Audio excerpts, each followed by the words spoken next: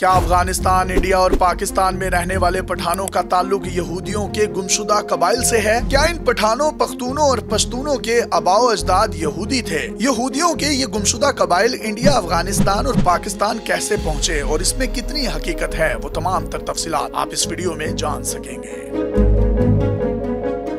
बनी इसराइल के 12 कबीले थे, जिनमें से 10 कबीलों को इसराइल से बेदखल कर दिया गया। ये कबीले मुख्तलिफ़ जगहों पर आबाद हुए और आहिस्ता आहिस्ता इन्होंने यहूदियत छोड़कर दीगर मजाहब इख्तियार कर लिए। यहूदियों की जानब से तवील अरसे से इन गुमशुदा कबीलों को ढूंढा जा रहा है, लेकिन इनका कोई सुराग नहीं मिल रहा। बहुत से लोगों को इन गुमशुदा कबीलों का हिस्सा करार दिया जाता है, लेकिन इस हवाले से सबसे मज़बूत दावा पाकिस्तान और अफ़गानिस्तान में मौजूद पठानों का है। इस हवाले से कुछ रिसर्चेस भी हो चुकी हैं तो आखिर पठानों का यहूदियों के गुमशुदा कबाइल से क्या ताल्लुक है और ये क्या कहानी है?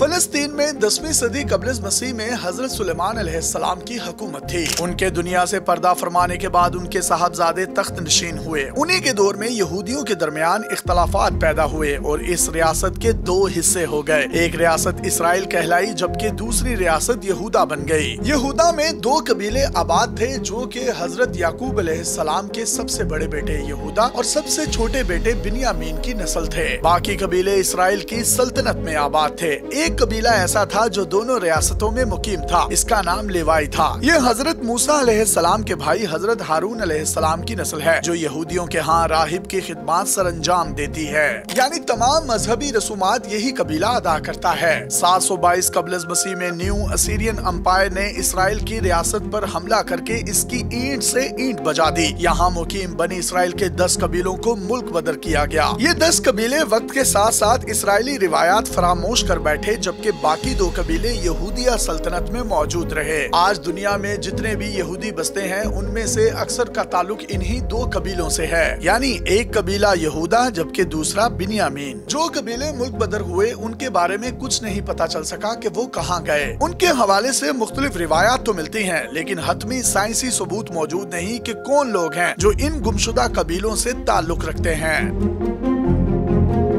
कुछ लोग इन गुमशुदा कबीलों का ताल्लुक जापान, यूरोप, चीन और दूसरे ममालिक से जोड़ते हैं, जबकि बाज लोग पठानों को भी इन्हीं गुमशुदा कबाइल का हिस्सा करार देते हैं। इसकी एक वजह तो पठान कबाइल के नामों में पोशीदा है। पठानों के एक बड़े कबीले का नाम यूसुफ जई है। इसका मतलब यूसुफ के बेटे बनता है। बाज लोग यूसुफ जई का मतलब निकालते हैं की ये हज़रत यूसुफ सलाम की नस्ल है। इसी तरह अफरीदी कबीले के दावेदार भी बहुत मज़बूत है। इसे यहूदियों के कबीले इफ्राहिम से जोड़ा जाता है। हज़रत यूसुफ सलाम की नस्ल से यहूदियों के दो कबीले बने थे, जिनमें से एक का नाम इब्राहिम और दूसरे का नाम मनासे था। इसकी दूसरी बड़ी वजह पठानों के कल्चर और जबान में पोशीदा है। पठान पश्तो और दरी जुबानें बोलते हैं। पश्तो सभी पठानों की ज़ुबान है, जबकि दरी अफ़गानिस्तान के पठानों की सेकेंड लैंग्वेज है। ये जुबानें यहूदियों की तरफ़ से बोली जाने वाली जुबानों के इंतहाई करीब समझी जाती हैं। इसके अलावा पश्तून कल्चर भी यहूदियों से काफ़ी मुमासलत रखता है। पठान कबाइल का लिबास यहूदियों के करीब तरीन समझा जाता है। पठानों के यहाँ यहूदियों की तरह योमुल सब्त पर चरागा करने का रिवाज है। इसी तरह उनकी शादी ब्याह की बाज ऐसी रस्में हैं जो यहूदियों से मुमासलत रखती हैं। अगरचे पूरी दुनिया में मुख्तलिफ़ ग्रोहों की तरफ़ से यहूदियों के गुमशुदा कबीले से ताल्लुक का दावा किया जाता है, लेकिन इसराइली माहरीन पठानों के दावे को सबसे मज़बूत करार देते हैं। पठानों के गुमशुदा कबाइल से ताल्लुक की हकीकत जानने के लिए इसराइली हुकूमत ने 2010 में एक तहकीक की फंडिंग भी की थी।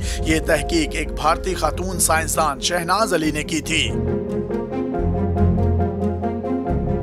उन्होंने इंडियन शहर लखनऊ के करीब बसने वाले अफरीदी पठानों के डीएनए सैंपल्स का तजिया किया, लेकिन उसके नतज आज तक शाया नहीं किए गए। इसी तरह, बाद के सालों में भी मुख्तलिफ़ रिसर्च की जाती रही हैं। 2012 में अफ़गानिस्तान में मुकीम पश्तूनों पर एक तहकीक की गई थी। डीएनए सैंपल्स के तजिए से पता चला कि इस खत्े के जो लोग शहरा रेशम के करीब आबाद थे, उनके डीएनए में बहुत सी कौमों का निशान मिलता है, क्योंकि इन लोगों की रिश्तेदारियाँ ईरानियों, तुर्कों और इंडियन लोगों के साथ थी। जो लोग हिंदू कश पहाड़ पहाड़ी सिलसिले के करीब आबाद थे। उनके डीएनए में ज़्यादा तब्दीली नहीं आई। इसकी वजह उनका बैरूनी दुनिया के साथ कम मेल जोल था। इन लोगों की ज़्यादातर शादियाँ आपस में हुई हुई थी, जिसकी वजह से इनका डीएनए एक आला जद्दे अमजद तक जा पहुँचा। इसी तहकीक में पठानों और यहूदियों के कुछ हेल्पो ग्रुप मुश्तर पाए गए। हेल्पो ग्रुप एक पैटर्न होता है, जो किसी भी शख्स के जद्दे अमजद की निशानदेही करता है। यहूदियों और पठानों के मुश्तर हेल्पो ग्रुप इंतहाई थोड़े थे, जिससे ये साबित नहीं हो सकता की ये एक ही कबीले ऐसी ताल्लुक रखते हैं ऐसे मुश्तरका हेल्पो ग्रुप दूसरी नस्लों में भी मिल सकते हैं। इस तहकीक में यहूदियों और पठानों का एक ही कबीले से ताल्लुक रखने का कोई भी वाजे सबूत नहीं मिल सका। ताहम, ये तहकीक इंतहाई महदूद थी, जिसको इस हवाले से हतमी करार नहीं दिया जा सकता। पठानों के यहूदियों के गुमशुदा कबाइल का हिस्सा होने या ना होने का फैसला करने के लिए बड़े पैमाने पर एक साइंसी तहकीक की ज़रूरत है। अभी तक ऐसी कोई तहकीक नहीं की जा सकी, इसलिए वसूख के साथ नहीं कहा जा सकता कि पठान वाकई गुमशुदा यहूदी कबाइल का हिस्सा है या नहीं?